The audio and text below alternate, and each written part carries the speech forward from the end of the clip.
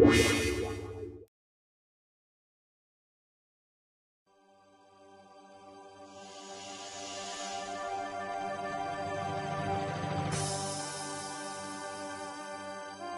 there, I am Link584, and today I want to tell you a RuneScape story. Now, I know I know what a lot of you are probably thinking.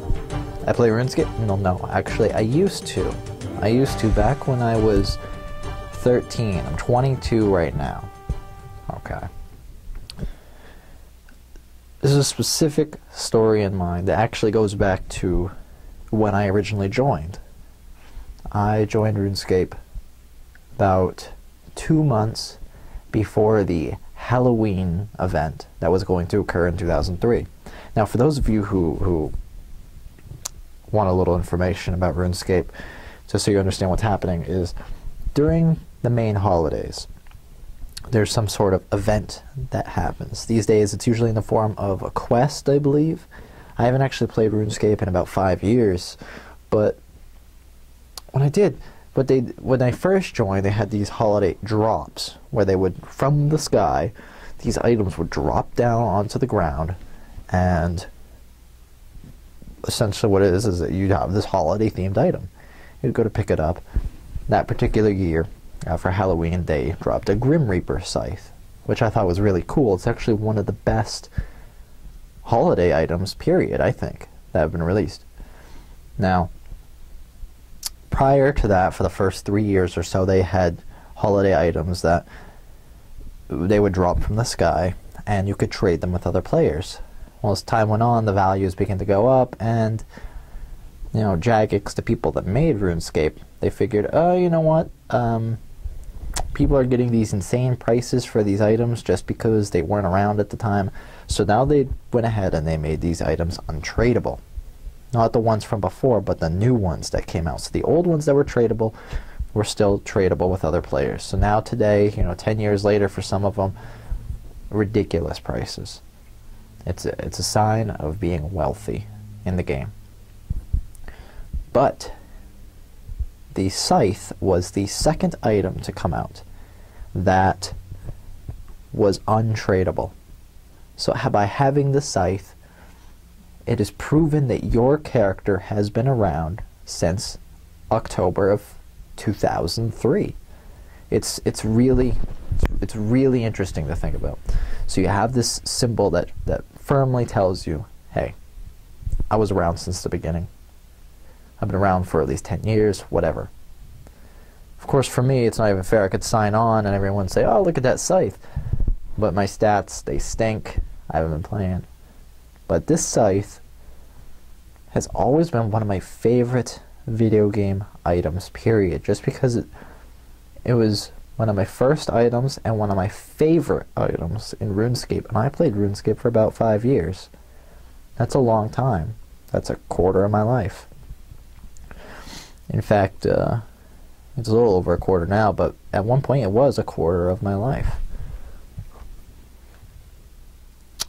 And when I think about it, I always remember where that scythe was because it, it, fell from the sky. They fell everywhere. Now, to those of you who actually play the game, I uh, I hope this is a semi good description because it's been a long time. I don't know how the game has changed. I don't know if they changed the layout at all. I don't think they did. They kept it structurally the same, the landscapes and all that. But in the starting town of Lumbridge, I believe that you could go uh, north, heading towards uh. I think it's Varrock. And uh, as you begin to go north, you have a, a couple different ways to get there. Splits. It splits into two ways. And from what I remember is I took the path to the right, which was a very boring scenic path. And shortly after, there was a a small uh, rectangular field that was on your left hand side. I got my scythe in that field. It was it was really cool to get it.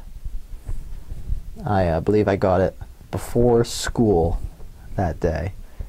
I was up early and all stuff, and while others are eating cereal and and watching TV that day, you know, I was playing RuneScape. And then I had only been playing it for a couple months at that time. And it was just it was just really cool to have that item. And I still log in now and then just to check out my character. And I wield the scythe wherever I go. It's been one of my favorites. And I just like showing off. It's so nicely designed. It shows how long I've been around. And it reminds me of a different era in my gaming experience. One that I have so many memories of in RuneScape. But that scythe will always mean everything to me. I mean, not literally everything, but it's just it's just one of those items that I don't go around saying, oh, you know, you know, you have a conversation with friends, say, oh, what's some of your favorite video game weapons? Oh, a portal gun, or oh, blah blah blah. It's it's what it symbolizes, I think, more than anything. So it's it's a part of me, and I'll never forget that time. Anyway, I'm Link584. Thank you for listening to my story. I know it was very basic, but we all have some sort of item or memory that we look back to, and this is one of my big ones to me. It's just what that scythe represents and a certain time in my life because that was a big time in my life. So if you're an MMO player, you know exactly what I'm talking about. Because games come and go. But the great adventures and journeys in an MMO, that's a whole nother story. That's a whole nother feeling. It's a different chapter of your life almost. I'm just never going to forget that scythe.